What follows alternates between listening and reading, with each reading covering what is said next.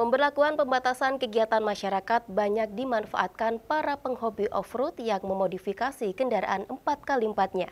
Hal itu membuat bengkel aksesoris yang melayani jasa pembuatan beragam jenis aksesoris kendaraan off-road kebanjiran pesanan. Dan omsetnya naik hingga 50% dibanding sebelumnya. Pembatasan kegiatan masyarakat di masa pandemi COVID-19 ini membuat banyak kegiatan yang terpaksa ditunda termasuk kegiatan para penghobi olahraga alam bebas off-road 4x4. Namun hal itu tidak membuat para penghobi off-road patah semangat. Mereka memanfaatkannya untuk membenahi ataupun melengkapi beragam aksesoris kendaraannya. Banyak di antara mereka yang melengkapi kendaraan off-roadnya dengan merubah penampilan dengan menambah aksesoris kendaraan off-roadnya agar terlihat gagah dan garang. Seperti penyedia layanan bengkel aksesoris off-road di Desa Patempuran, Kecamatan Kalisat, Jember ini misalnya. Kini kebanjiran pesanan aksesoris 4x4.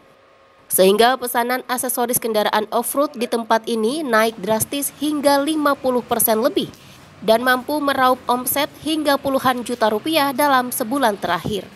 Kondisi COVID gini ya buat kesibukan sendiri mas itu modifikasi mobil.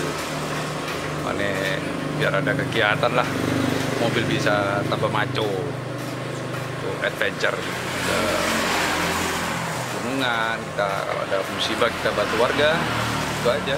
Kalau omset sendiri alhamdulillah meningkat mungkin dari teman-teman terutama off-roader ya banyak mengisi waktu atau juga banyak bantuan-bantuan sosial seperti memuat bahan-bahan berkaitan dengan covid sendiri. Banyak dari mereka yang memodifikasi mobil itu yang pertama itu rak memang.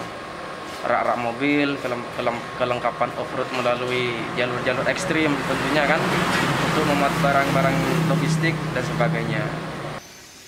Tak hanya dari dalam kota Jember saja, pesanan aksesoris kendaraan off-road juga banyak dipesan dari luar kota, seperti Bondowoso, Banyuwangi, Surabaya, Bali, bahkan hingga Batam yang pemasarannya dilakukan dengan memanfaatkan platform digital atau sosial media.